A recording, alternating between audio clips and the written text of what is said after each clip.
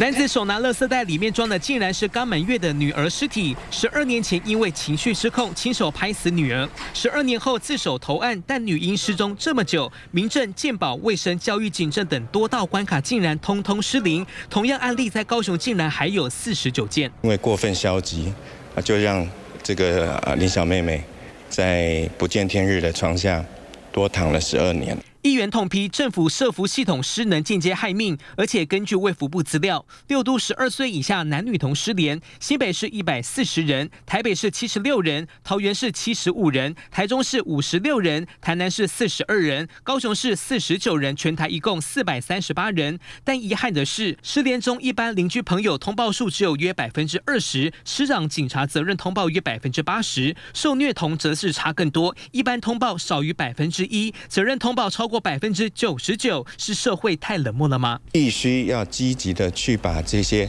gay boy 处兵找回来。我们针对呃公立大楼里面的保全人员、社区里面的守望相助队、呃计程车业者来参与，更加更有相关的一个概念，加强宣导，唤醒民众鸡婆性格，并且检讨社会福利网机制，亡羊补牢，希望不要再有下一个无辜孩子受害。